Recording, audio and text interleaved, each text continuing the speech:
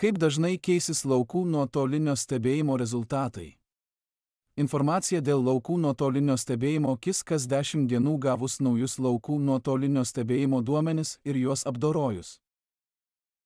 Laukų nuotolinio stebėjimo grafiką, kuriame pateiktos stebėjimo rezultatų datos, galite rasti informacinėme portale.